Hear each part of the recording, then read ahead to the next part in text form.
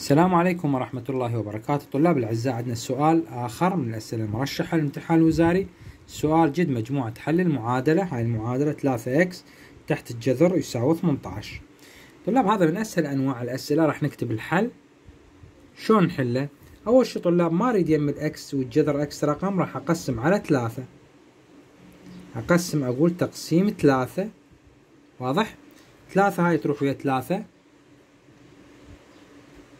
ثلاثة تروح ويا ثلاثة. راح ينزل عندي جذر الأكس. يساوي لنا؟ 18 على ثلاثة ستة. شلون أتخلص من الجذر؟ أقول بتربيع الطرفين. تربيع الطرفين. أربع الطرفين. تربيع يروح ويا الجذر ينزل عندي بس الأكس. والستة وثلاثين هو تربيع الستة. إذا مجموعة الحل هي ستة وثلاثين. السؤال سهل وبسيط يعني حتى الطالب يقدر يحله. الملاحظات اللي يقول عليها أول شيء لازم أتخلص من هاي الثلاثة لصف الجذر.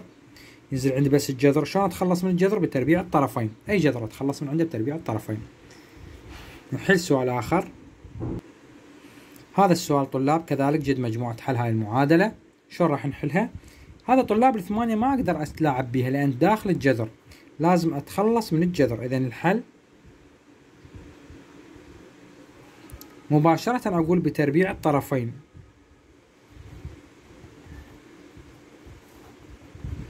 أربع هذا الطرف وأربع هذا الطرف. تربيع يروح الجذر. ينزل عندي y زائد ثمانية يساوي لي ثلاثة تربيعها تسعة. هسه أقدر أودي